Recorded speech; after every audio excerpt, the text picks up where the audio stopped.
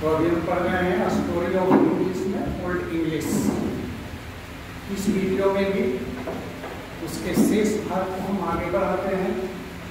अब यहाँ पर हम देखेंगे अबाउट एटी सिक्स हंड्रेड लगभग छः सौ ईस्वी में Christianity began to split in England England में ईसाई धर्म फैलने लगा लगभग 600 ईस्वी में इंग्लैंड में ईसाई धर्म फैलने लगा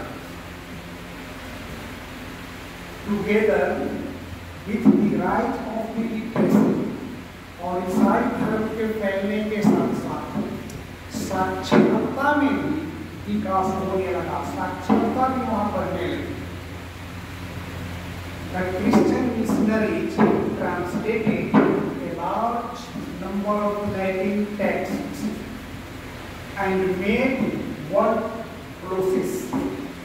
जो ईसाई मिशनरियाँ थी वे बहुत से जो लैटिन साहित्य थे लैटिन टेक्स्ट थे उसको उन लोगों ने ट्रांसलेट कर दिया खास करके सबसे ज़्यादा नॉर्थम्बियन ने उसको ट्रांसलेट किया और एक प्रोसेस बना दिया वर्ड का एंड मेड वर्ड ग्लोस बना दिया ग्लोस बना दिया। Many of the following words in existence today are borrowed from Latin आज बहुत से ऐसे शब्द हैं जो कि अंग्रेज़ी के अस्तित्व में हैं। वे लैटिन से किए गए हैं and are related to religion और उन शब्दों का संबंध खास करके धर्म से है। जैसे आज भी हम अंग्रेज़ी के शब्द देखते हैं heaven gate god gospel Easter seen under mod arms angel mass nun etcetera जो शब्द आज हमारे पास अंग्रेज़ी में है, ये सब लैटिन से ही आए हैं। इनकी उत्पत्ति लैटिन से ही हुई है। अदर वर्ड्स लर्निंग जो लर्निंग से संबंधित है, साइंस से संबंधित शब्द है, मेडिसिन से संबंधित शब्द है, वे हैं history grammatical master, paper, school works metre, anchor cucumber lily candle plant, tiger, and stone जैसे जो शब्द हैं सब इत्यादि जो शब्द हैं सब की से ही हुई है। अब इस पर हम देखेंगे ये तो हमारा लैटिन का क्या प्रभाव तो ये सब शब्द लैटिन से गए कभी कभी एग्ज़ाम ये भी पूछ देता है कि ये सबसे लिए गए हैं? लैटिन शब्द है या फ्रेंच शब्द है? कौन सा शब्द है अब देखेंगे स्कैंडिनेविया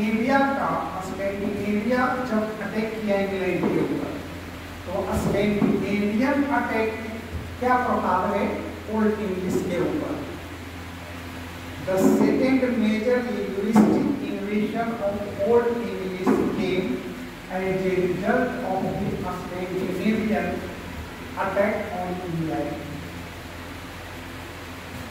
Old English पर सबसे, दूसरा सबसे बड़ा साहित्यिक आक्रमण आया स्कैंडिनेविया के इंग्लैंड के ऊपर आक्रमण करने से।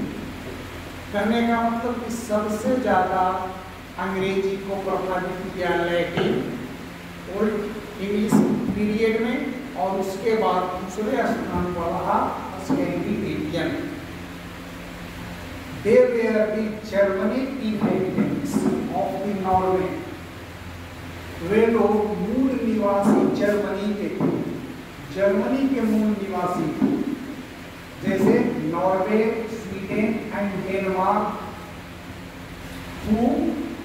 and one time of the पांचवी शताब्दी के यूरोप में वे लोग एंग्लो सेक्सन के पड़ोसी हुआ करते थे। एंग्लो सेक्शन भी बिलोंग कहाँ से करता था? जर्मनी से। और स्कैंडिनेवियन भी बिलोंग कहाँ से करते थे? जर्मनी से करते थे।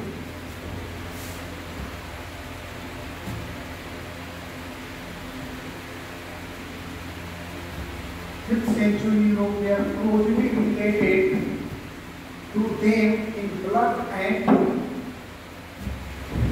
language Anglo Saxon से उनका लैंग्वेज भी मिलता था, भाषा भी मिलता था और रक्त का संबंध था।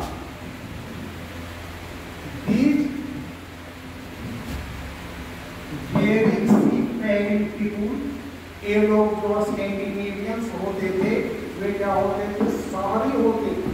और समुद्र यात्रा में उन लोगों को महारत हासिल था।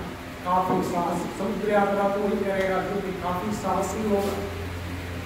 वेयर गॉड विकिंग्स इन लोगों को विकिंग्स कहा जाता है। आधुनिक समय में कह सकते हैं कि उनको समुद्री डाकुओं का लीडर कहा जाता है। यार हमको यहीं तक लेकर चलना है कि उन लोगों को विकिंग्स कहा जाता था। विकिंग का युग the middle of the eight century आठवीं शताब्दी के मध्य से लेकर ग्यारहवीं शताब्दी के शुरू तक या आरंभ तक जो युग था, वो इतिहास में विकिंग एज के नाम से जाना जाता है। नेक्स्ट कुछ और बच गया है चैप्टर लंबा होता है। एक वीडियो में देना संभव नहीं। है तो इसके जो शेष पार्ट्स रह गए हैं उसको अगले वीडियो में देंगे। Thank you